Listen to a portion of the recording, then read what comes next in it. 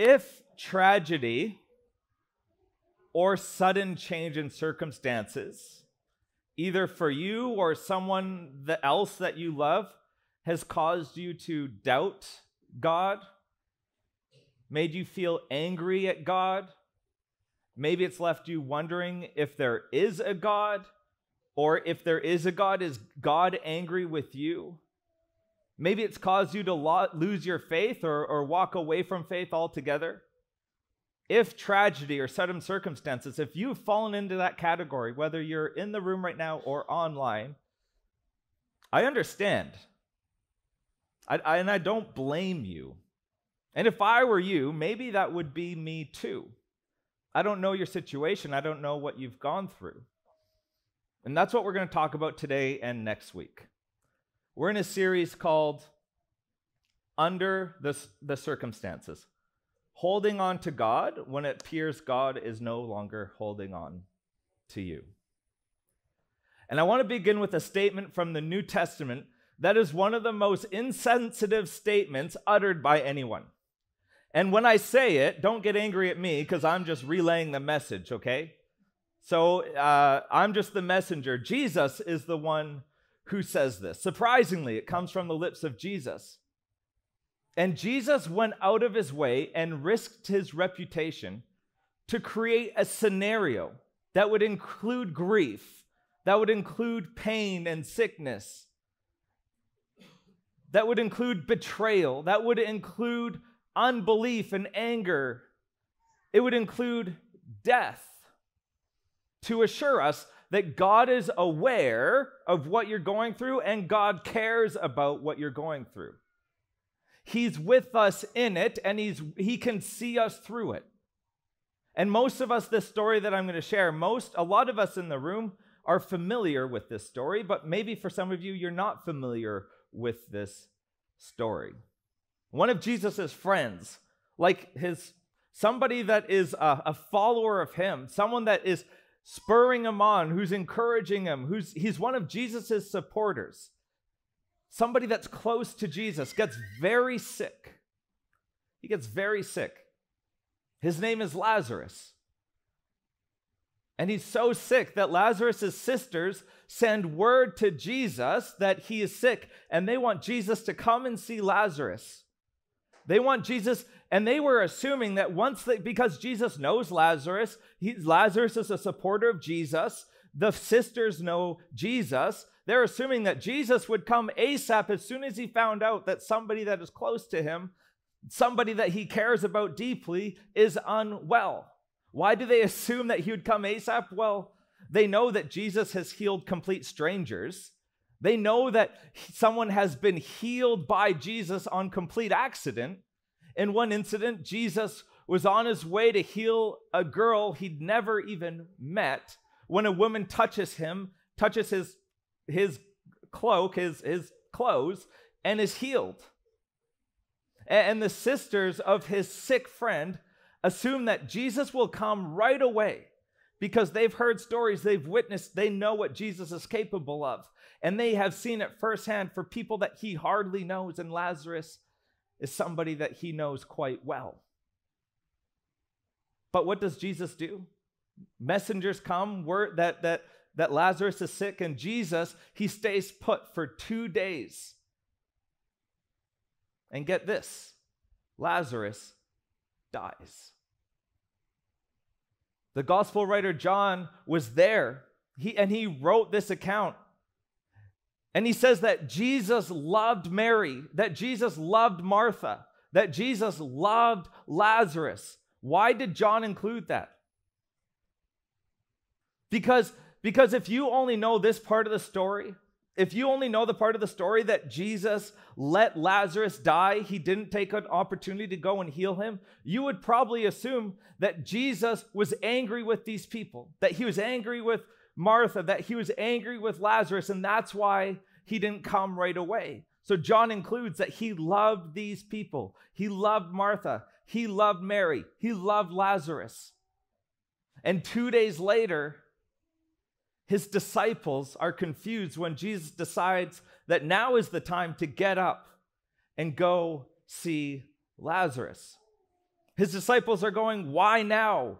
Why didn't you go right away? Why go at all? It, Jesus, if, if you, the disciples are thinking, Jesus, if you don't remember last time we were there in Bethany, people tried to stone us, like our lives were in danger. This is what they say. But, Rabbi, so Jesus, so let's just paint the picture here for a second in case I've confused you. Lazarus was sick. The sisters sent messengers to Jesus in order to bring Jesus to Lazarus to heal him. Jesus says, Not yet. I'm going to stay put for two days. And now Jesus decides that now is the time to go and see Lazarus. Are we all on the same page? And they say, But Rabbi, the disciples, a short while ago, the Judeans there tried to stone you, and yet you are going back? Like, did I hear you right? Why are we doing this? The apostles are thinking, hey, why don't, you know, hi, we, we live in, now we live in a hybrid world. Why don't you just do one of those at home miracles? Why don't you work at home for the day? We don't need to go to Lazarus. Last time we were in that region, our lives were in danger. So they were far more concerned about themselves than they were about Lazarus. And Jesus replies to them Our friend Lazarus has fallen asleep, but I'm going there to wake him up. I love this. His disciples replied, Lord, if he sleeps, he will get better. Like we all know this, when you are sick, you should you should rest so your body can heal. The disciples were quite literal, thought Jesus was being literal when they said that when he said that Lazarus was asleep. But Jesus just to make it clear, he told them plainly, like so there's no confusion. Lazarus is dead. I thought you would catch what I was saying when he's asleep. Lazarus is dead. And for your sake, and here it is. I bet John deb- debated whether or not he would include this. For your sake, he says. Uh, t- uh, terms like this are why I am so confident that the, the Bible, that the Gospels is true.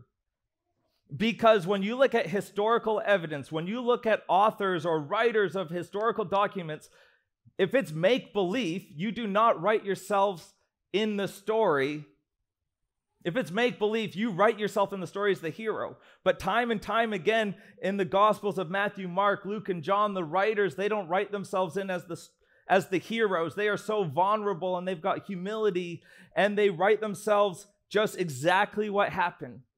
And so John includes what Jesus says For your sake, I am glad I was not there so that you may believe. So then he told them plainly Lazarus is dead. And for your sake, again, John was there. I am glad I was not there so that you may believe. Now, how many of you have ever watched Winnie the Pooh? Some hands, got some nods. Eeyore. What's Eeyore known as? Anybody just shout out? Yeah, like he's like, he's one of those sort of downer characters, right? Now, Thomas Thomas is like the Eeyore of this story. Thomas is like the Eeyore, Eeyore of this of this group of people. He says, "This is what Thomas says." Now, just imagine Eeyore here. Let us also go that we may die with him. Let us also go with Jesus. Come on, guys. Like he's the downer of the group. And this isn't going well. And the end is near. And the disciples are confused as to why Jesus wants to go and risk it all for Lazarus when he's already died. Back to Jesus' disturbing statement. I'm glad I was not there. I'm glad that this happened. Let that sink in. I'm glad I wasn't there so that you may believe. Believe what? What is so important to believe that he lets a friend of his suffer and die while his sisters watch? What, is, what sort of belief is so important? And the answer to that question is related to the question of who is you? Who is you? I am glad I was not there so that you may believe. Who is you? And obviously, he's referring to the 12 that are the apostles that are there. But John wrote year this years after the resurrection of Jesus. This is written years after the resurrection of Jesus. And you refers to you. You refers to me. You so that you may believe, so that we all may believe, so that whoever reads this may believe, so that Jesus' 21st century followers may believe. Now, Jesus, get this, Jesus engineered a heartbreaking set of circumstances to address, and I know this has gone through your mind at some point, to address this statement Where's God when we need him circumstances? Jesus engineers a heartbreaking set of circumstances to address our where's God when we need him circumstances. So the, the you, the you are all of, the, all of you that don't believe.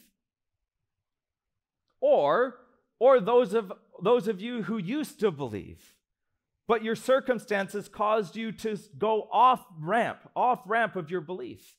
The you is everybody. And get this for those of you that don't believe, or those of you that used to believe, but you don't anymore, or you're still trying to work this stuff out, Jesus is about to affirm your feelings when God doesn't seem like He's shown up for you. He's about to affirm what some of you feel right now without condemnation.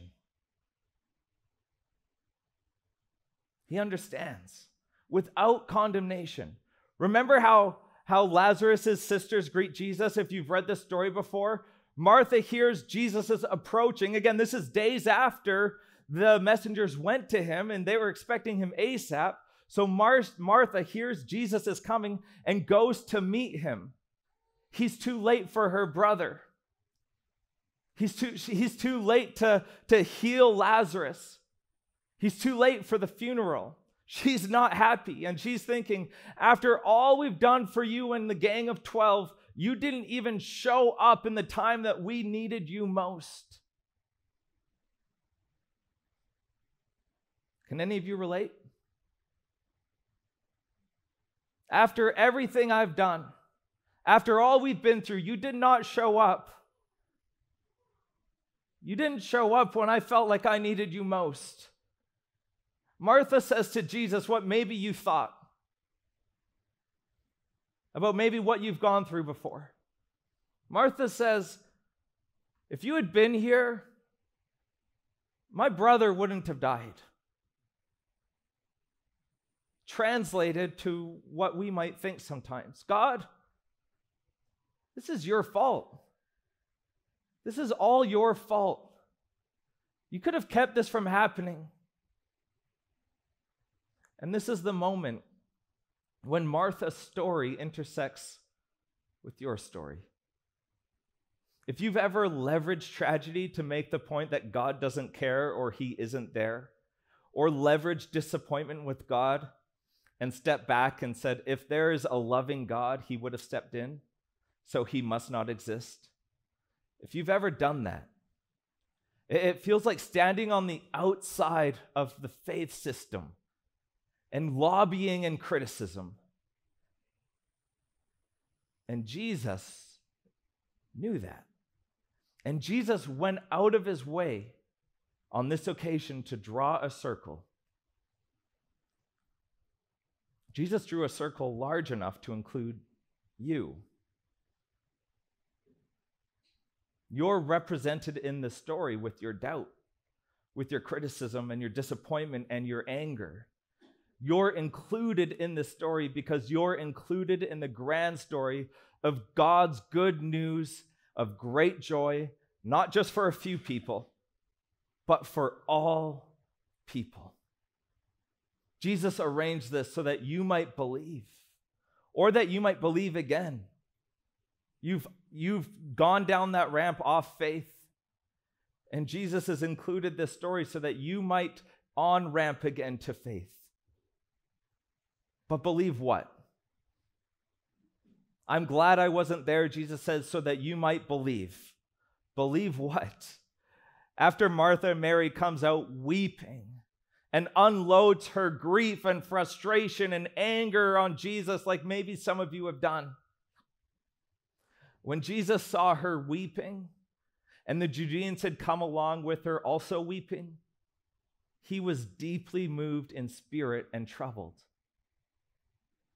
Now, if you're anything like me, you think, Jesus, if you're going to be deeply moved by this situation, by these circumstances, why not just prevent them in the first place?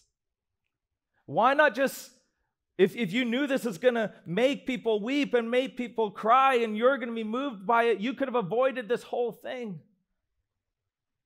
The reader may wonder, why didn't Jesus just go and do this earlier? And then when they led Jesus to the cave where Lazarus was buried, John tells us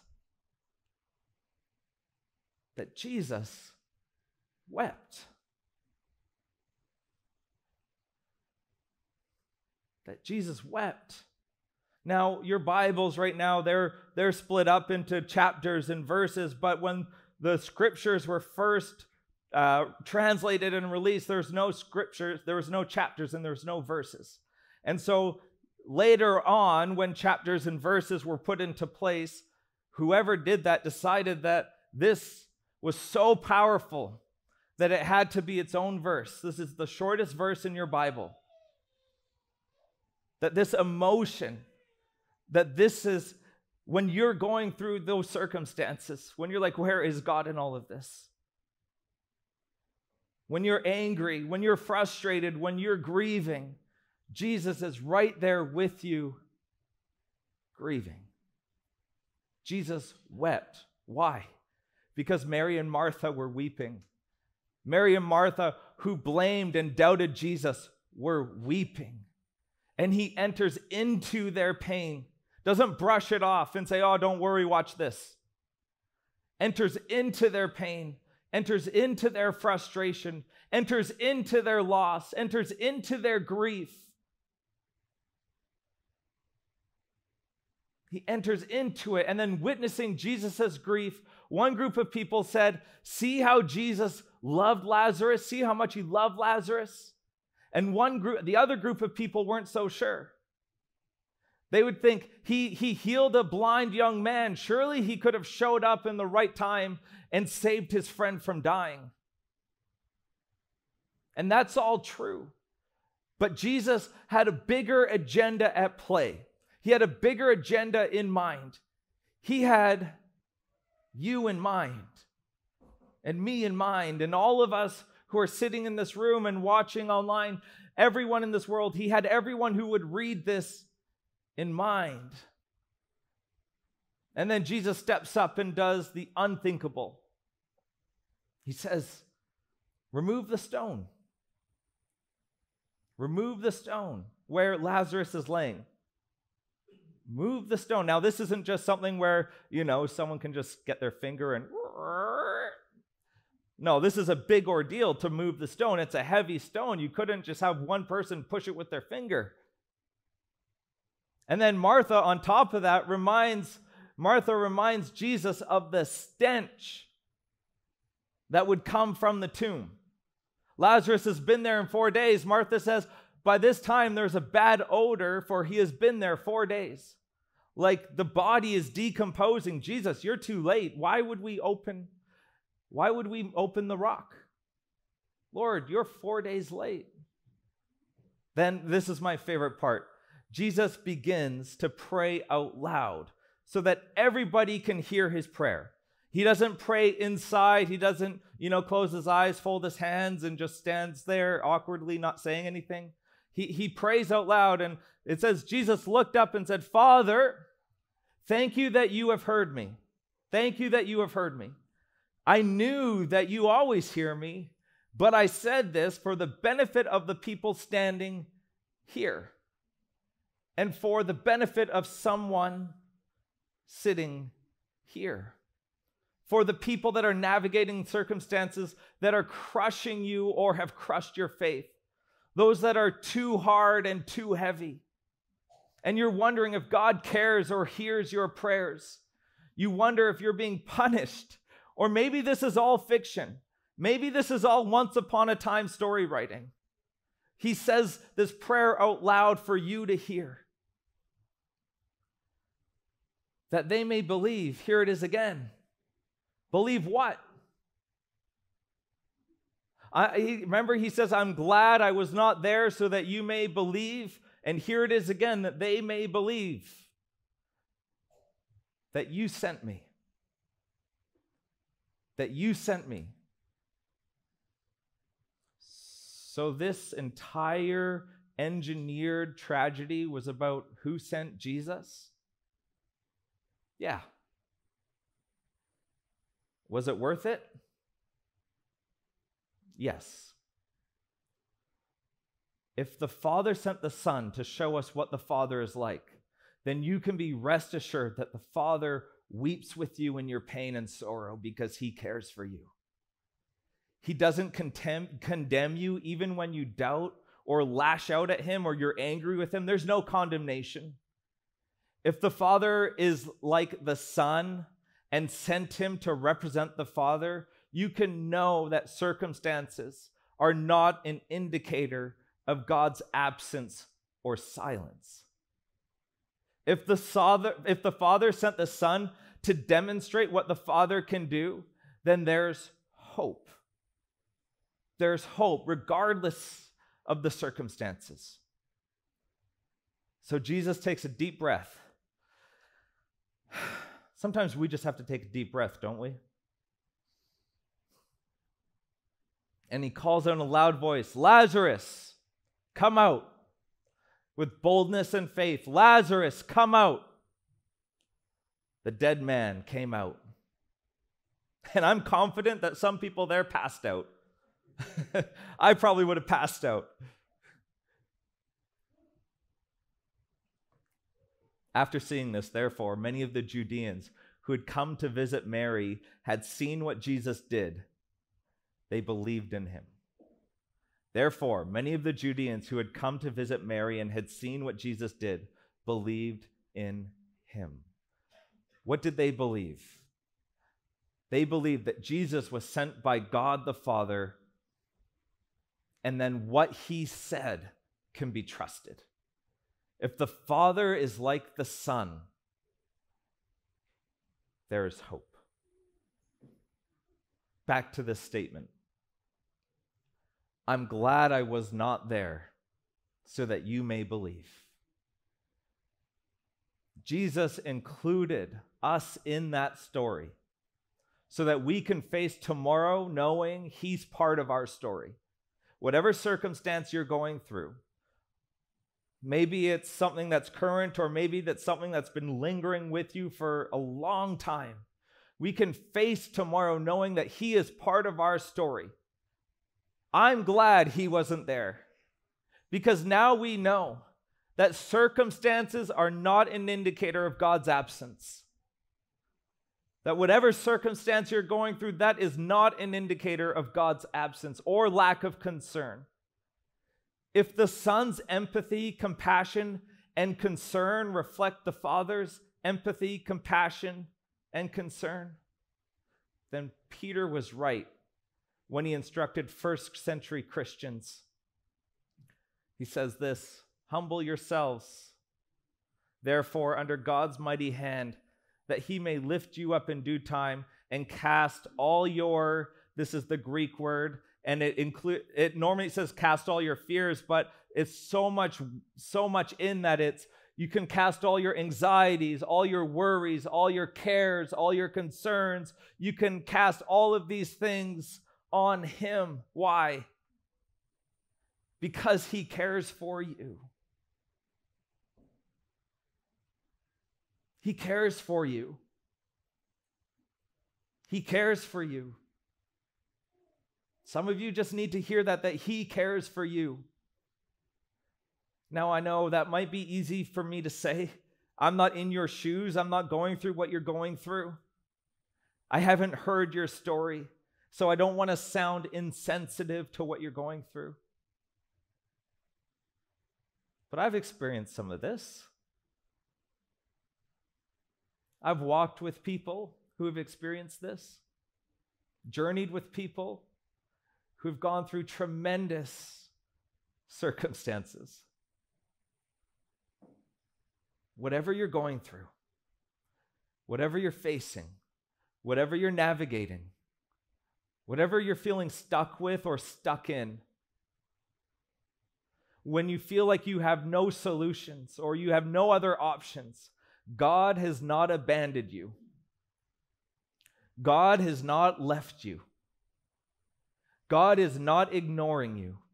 God is not condemning you. God is not saying, How dare you have doubt? How dare you be angry at me? No. God is by your side, weeping. He is in it with you and wants to journey with it with you, wants to help you get through it with you, not to leave you alone. Jesus went out of his way to demonstrate and punctuate that very thing. That you are invited or invited back to cast all your care, all your grief, all your sorrow on him. Knowing that he cares for you, knowing that that's not falling on deaf ears, knowing that he's not ignoring you. Why? Because God sent his son to illustrate and demonstrate that for us. That's where peace is found, and that's where grace is experienced. That's when you learn you can hold on to God when it appears that God's not holding on to you, but church, God is always holding on to you. He has not left you, He has not left your side.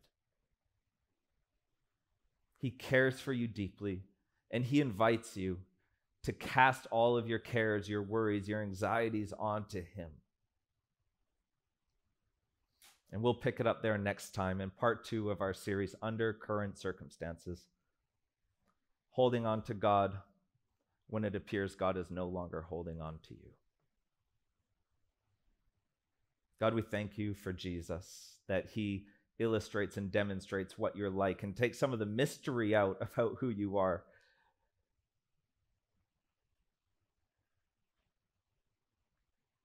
God, I don't know what everyone's going through. I don't know all the circumstances. I don't know what people are carrying in their hearts, but I do know that you don't want them to carry it alone. That you want to be by their side, walking with them, that, and they, you want us to cast those things onto you so that you can lighten the load for us. God, make your presence known this week. And for those of, for those of us, for those of you that have stepped back from faith, have left faith because you thought there's no way a good God could allow this to happen. God, I pray those people would be reminded of your grace, would be reminded of your forgiveness, and would be reminded of your compassion and how much you deeply care for each and every one of us. Thank you for this time. In Jesus' name, amen.